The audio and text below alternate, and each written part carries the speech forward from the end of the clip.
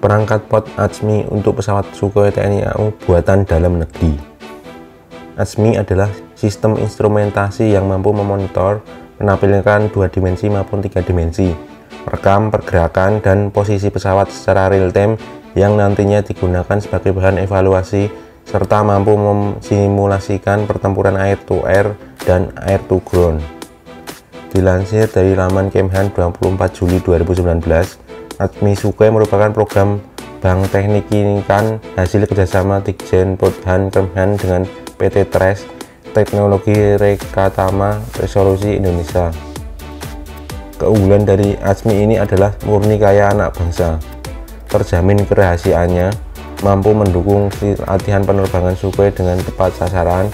upgrade lebih mudah karena hasil penelitian bersama dengan Bank TNI AU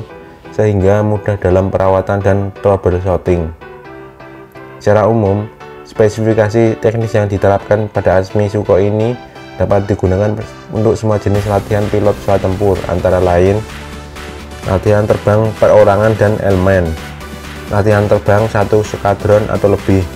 latihan gabungan antara skadron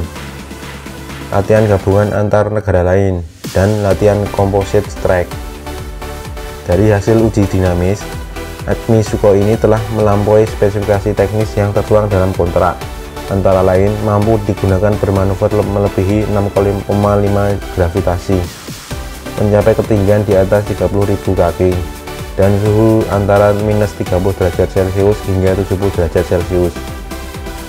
Perhatian yang sangat luar biasa diberikan oleh Kepala Staf Angkatan Udara Dirjen Podhan yang telah mendukung penuh tim Waspro dan PPHP serta Puslaik Baranahan Kemhan yang telah dalam kegiatan uji statis maupun uji dinamis yang dilaksanakan di Skadron 11 Wing 5 Anut Hasanuddin Makassar. Atas dukungan dan kerjasama semua pihak kini ADMI supaya program Bank Tekin dan Dijen Keuangan Kemhan telah mengantongi sertifikat tipe produk Autonika kelas 2 militer dan siap untuk diproduksi massal guna mendukung kegiatan TNI AU kompatibel dengan pesawat-pesawat TNI AU lainnya. Sebelumnya TNI AU telah memiliki ATMI kit buatan Cubik dan P5 buatan Cubik dan DRS teknologi untuk pesawat F5, F16 dan Hawk 100 atau 200 please like, share, and subscribe